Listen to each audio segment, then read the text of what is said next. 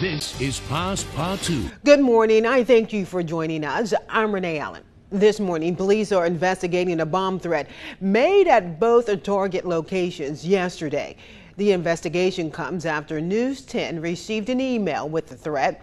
Neither locations were evacuated and no explosive devices were found. Several other targets across the country, however, were evacuated after our sister station also received a cryptic email with similar threats. Take a look. About 5:15, the Lafayette Police Department received information that there was an active threat at both target locations in Lafayette. Um, we were we were uh, assigned officers to each location. They responded to uh, the locations, and they got with the staff along with the Lafayette uh, Fire Police Department, Fire Department as well. They uh, also responded to that location. This is the email sent to multiple news agencies in Louisiana around 4:30 Saturday afternoon. The email starts by saying, quote, Target has betrayed the LGBTQ plus community. The sender then goes on to say, if you are not with us, you are against us. That is why we placed a bomb in each of your locations. Evacuate now as this is only to cause economic damage. This is a warning. After News 10 notified Lafayette police of the email, officers were sent to both locations. A conjoint effort was conducted between all departments, including the staff of Target at uh, the Southside location. They were comfortable with uh, the response. They reviewed their CCTV footage, which is uh, basically camera footage and whatnot, and they were okay with the response. there was no further assistance needed over there. At this point in time, our officers and the uh, fire department are still at the north side location, actively doing a sweep of the location. A string of emails threatening targets have been sent out across the country, including one Saturday to our sister station, KFOR, a news station in Oklahoma City. The email they received starts by writing, We are going to play a game, and includes the date of April 19, 1995, which is the same date as the deadly Oklahoma City bombing. It goes on to say two of these target locations have bombs in them. We hid the bombs inside some product items. The bombs will detonate in several hours. Guess which ones have the bombs? Time is ticking. Several targets in Oklahoma City were then evacuated, though there were no explosions. Back here in Lafayette, Corporal Ken Handy with Lafayette Police says they were not aware of the bomb threats in other cities. Uh, this is the first of our knowledge today, um, but we're going to conduct an investigation on the actual complaint that occurred today at both locations. It'll be assigned to the Criminal Investigations Division, and uh, we'll assign it to a detective who will conduct a thorough investigation, and we'll see what happens from there. Again, no bombs were found. Both locations were back open by last night. Then a Lafayette man is dead after a crash on I-10 near Rayne. 30-year-old Kevin Michael Johnston lost his life. That crash happened late Friday night near mile marker 86. Rayne police say Johnston struck a GMC and was ejected from his vehicle, then fatally struck by another vehicle. Witnesses say Johnston had been driving erratically for several miles before the initial crash. It's unclear if impairment or a medical condition was the cause. Rayne police, of course, are investigating. Governor John Bel Edwards signs new bills into law from the 2023 legislative session. He signed nearly two dozen of them as of this past Friday. A few notable ones include a law that redefines what an automatic weapon is, toll exemptions for students traveling on ferries, roads, and bridges, establishing uh-huh, an official state NUT. I'm happy with much most of the work that was done uh, in this session. It wasn't easy. What's important at the end of the day is that we came together, we made significant progress, and that's going to help continuing moving Louisiana forward. The session was heated at times, of course. Some lawmakers say they were furious with the budget vote during the last minutes of the session. Many saying they did not get enough time to review the amendments put on the bills. Then Abbeville Police Department received a grant for nearly $40,000 for the installation of license plate readers. News 10's Rodrika Taylor spoke with the chief about how this money will help the department tackle crime. Chief Mike Hardy says the license plate readers are another tool the department can use to solve crimes.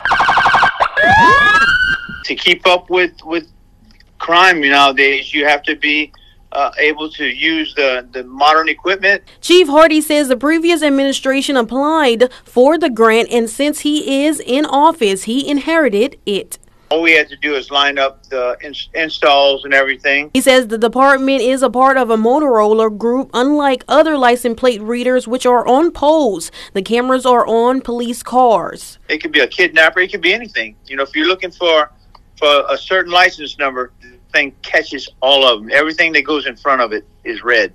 The chief says two police units have the cameras installed and they can gather a lot of information. We can park these vehicles where they look like just a parked car, and they can document every vehicle in and out of a parking space, of a, a garage. Uh, it does. It could be anything. Walmart parking lot. Another good thing about being with Motorola is they are partnered with departments all over the country. If somebody commits a crime and we know their license number, we put the license number in. And if they leave here and go anywhere where uh, a department has some of these LPRs, if they see them, they'll document it or they'll get a hit on it. You know, it, it'll be on a hot list. And when they get a hit on it, we know right where our car is. In Abbeville, Rodrika Taylor, KLFY News 10.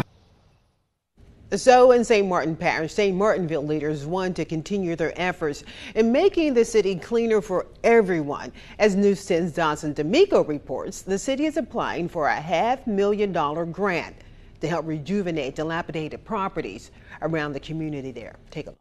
The St. Martinville government is looking to refurbish homes around the community like the one behind me to help maintain a cleaner and safer city. The city of St. Martinville is applying for a clearance grant worth up to $500,000. We want to make our citizens aware of this grant and the application process. St. Martinville Mayor Jason Willis has made it known his main goal as mayor is to clean up his community. Efforts in keeping the city clean have already been awarded with a first place victory in the Louisiana Cleanest City contest at the regional and state level. Mayor Willis says this move is one more step in the right direction of continuing the momentum already established. This is huge for our city, um, but we want this to bleed within our communities. We don't want it, like I said, to just to be in a certain area that people come through our city to see. We want to be able to go through the neighborhoods. The grant comes from federal funding, and all refurbishment will be free of charge for the owner of the blighted property. Mayor Willis encourages anyone who needs the help but cannot afford it to reach out to the city for assistance. This is huge and I stress, you know, I want, I need participation from, from the citizens. Uh, we will help you do the application. There's no income required, um, you know, so it's no brainer, you know, so just please come forward. Let us help you, get in touch with us, and I think this would be great for the city. If you're interested in having your home be a part of the refurbishing list, contact City Hall at your earliest convenience. In St. Martinville, Dawson D'Amico, KLFY, News 10. So, St. Martinville will be holding open public meetings for citizen input. You can find the dates and locations of those meetings on our website, mm-hmm, klfy.com. And speaking of St. Martinville, commercial craw fishermen are feeling left behind as Congressman Clay Higgins works towards rebuilding the shrimp industry. News 10's Zane Hogue sat down with a crawfisher who says he still has not seen a profit in year 2023. As Congressman Clay Higgins makes efforts to help the shrimping industry, commercial crawfishermen in Acadiana feel they're being ignored. You know, we'd like to see help towards the commercial crawfishermen as they are helping the shrimpers, you know. It's not just the shrimpers that are in need of what's going on, you know. I don't know if, if they're looking at a tariff or what they're looking at to try to help them, but we need that help too. You know, we, we get no help. In a letter to the Department of Agriculture, Higgins requested the federal government purchase Gulf shrimp to prop up prices and minimize the influx of imported shrimp, helping the industry in Louisiana. Bienvenu says the commercial crawfish industry has struggled in recent years, even failing to see a profit so far in 2023, only seeing a price of 40 cents per pound of smaller sized crawfish. These are 1970 prices, you know. Everything goes up, but crawfish is the only thing that goes down. You know, it's a, and it's amazing. It's one of the most spectacular, delicious delicacies we have in Louisiana. And the public pays for it, but we don't get paid to go catch it hardly. You know, it's a struggle for us. I've never caught up to where I could save money. Bienvenu says fellow crawfishers supported Higgins in his run for office, but with his recent statement only involving the shrimping industry, he feels betrayed. Bienvenu still hopes changes can be made that help both the shrimp and crawfish industries rebuild. If Clay wants to do something, let him put crawfish in with the shrimp. You know, he don't have to like us. He can keep not liking us if he wants, but he's supposed to be doing the right thing. We elected him to do the right thing. And we just asking for that. Give us the help. Don't have to like us. Jesus said, they'll hate you, they'll hate me too. So. As commercial crawfishermen continue to struggle, Bienvenu says he's tired of empty promises, and in the future, he hopes for action. In St. Martinville, I'm Zane Hogue for KLFY News 10. And just a reminder for you, Acadiana, Vermilionville is holding their annual Creole Culture Day. Today It's happening from 10 a.m. to 4 p.m. This free family friendly event celebrates all of the contributions the Creole culture has made to Acadiana and will feature live music, arts, crafts, food demonstrations, and much, much more. And speaking of fun, summer is here, and that means people